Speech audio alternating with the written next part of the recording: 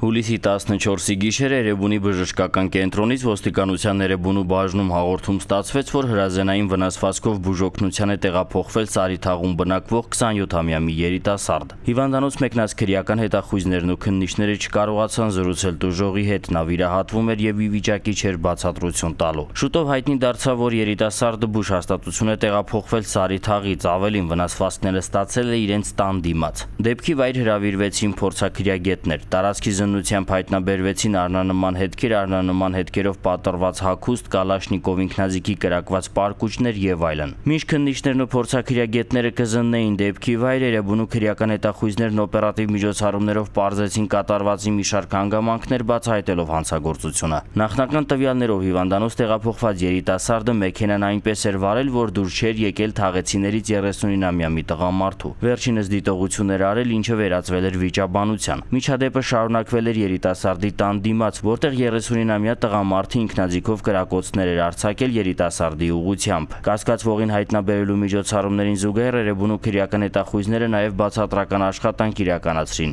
Արդյունքում հուլիսի 17-ին նա եկավ ոստիկանության Էրեբունու բաժին, ապա ներկայացվեց տարածքային քնչական բաժին ու ձերբակալվեց։ Դեպքի արդիվ քրեական գործ է հարուցվել խուլիգանական դրդումներով սպանության փորձի հատկանիշներով։ Տղամարդուն մեղադրանք է առաջադրվել, նա կալանավորվելու տեղափոխվել է քրեակատարողական հիմնարկ։ Օպերատիվ հետախուզական միջոցառումներն ու քնչական գործողությունները շարունակվում են ինքնաձիգ հայտնաբերելու եւ դեպքի այլ հանգամանքներ ողջելու ուղղությամբ։ Ծանուցում ենթադրյալ հանցանքի մեջ կասկածվողը կամ մեղադրվողը համարվում է անմեղ, քանի դեռ նրա մեղավորությունն ապացուցված չէ Հայաստանի Հանրապետության քրեական դատավարության օրենսգրքով սահմանված կարգով՝ դատարանի օրինական ուժի մեջ մտած դատավճռով։